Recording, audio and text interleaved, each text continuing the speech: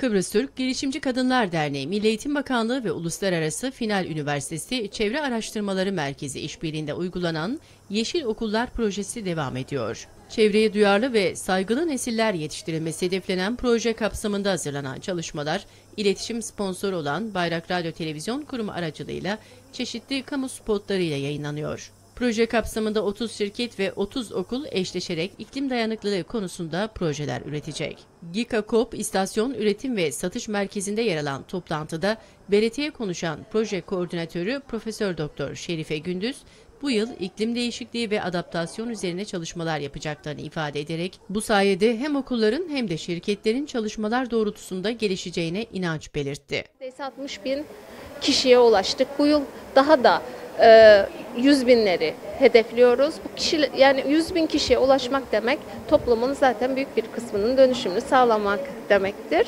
E, tabii bu konuda bize sivil toplum örgütlerimiz de çevreyle ilgili destek veriyorlar. Kıbrıs Türk Girişimci Kadınlar Derneği Başkanı İçim Çağner Kavuklu da Yeşil Okullar projesiyle Milli Eğitim Bakanlığı ve işletmelerle el ele verip bir vizyon paylaşımı yapmayı hedeflediklerini söyledi. Yeşil Okullar projesi tüm ülkemizi sararak e, büyümeye devam ediyor ve bu yıl e, meslek liselerimizde dahil oldu. Siz e, evet geçen seneden de vardı değil mi? Bu meslek liselerimiz arttı. E, öte yandan ilkokullarımızda e, artış oldu. Daha da e, küçük yaşlara iniyor bu doğa bilinci, çevre bilinci. E, bunun etkilerini ben gönülden inanıyorum ki toplumda her geçen gün daha çok hissedeceğiz.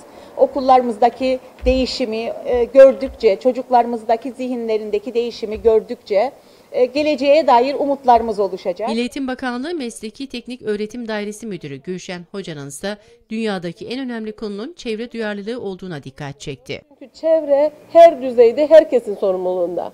Biz de bu bilinçle hareket ediyoruz ve ben YİKAT'a özellikle İçim Hanım'a çok teşekkür ediyorum. Çünkü yaptıkları projeler her konuda sadece bu konuda değil gençlerimizin istihdam edilmesi, kadınlarımızın desteklemesi konusunda da e, büyük bir başarı sergiliyorlar. Kendilerini de kutluyorum bu vesileyle. Konuşmaların ardından kura çekilerek işletmeler ve okullar eşleşti.